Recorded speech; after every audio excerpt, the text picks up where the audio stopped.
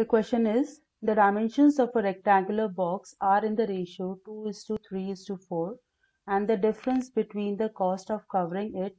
with sheet of paper at the rates of rupees 8 and rupees 9.50 per meter square is rupees 1248. Find the dimensions of the box. Let x be the common factor between length, breadth and height तो length होगी two x breadth होगी three x और height होगी four x ठीक है अब जब भी हमें कॉस्ट फाइंड आउट करना है cost of covering with the sheet of paper या पेंट करना होता है या सीमेंट करना होता है तो हमें एरिया निकालना पड़ता है टोटल सरफेस एरिया निकालना होता है अब रेक्टेंगुलर बॉक्स जो है वो है क्यूबॉइडल बॉक्स तो total surface area of cuboidal box होगा twice length into breadth plus length into height plus height okay so this is equal to twice two x into three x plus 2x into 4x plus 3x into 4x equal to 2 into 2x into 3x will give us 6x square plus 2x into 4x is 8x square plus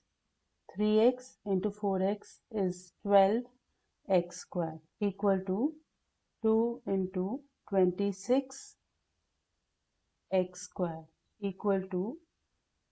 fifty two x square fifty two x square ये हुई total surface area of rectangular box अब दूसरी condition हमें दे रखी है कि इस box को रैप करने का जो कॉस्ट आ रहा है उन दोनों पेपर से उसका डिफरेंस दे रखा है हमें one thousand two hundred and forty eight rupees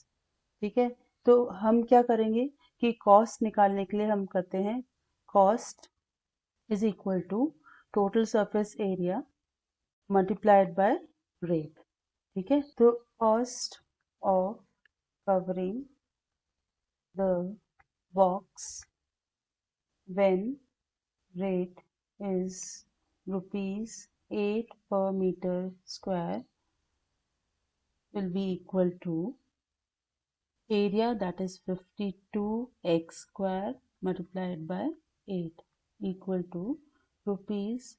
416 x square okay similarly cost of covering the box when rate is rupees 9.50 per meter square is equal to area that is 52x square multiplied by 9.50 is equal to rupees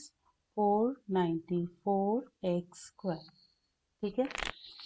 अब हमें दे रखा है इन दोनों का difference difference क्या है rupees one तो हमारी लीनियर इक्वेशन हो जाएगी four ninety four x square minus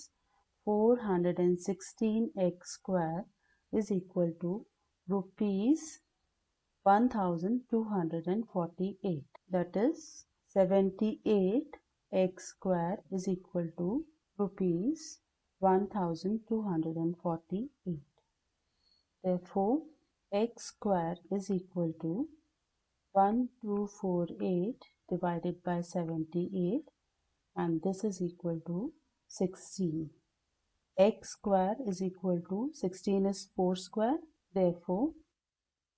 x is equal to 4 now substituting this value of x in length breadth and height हमको मिलेगा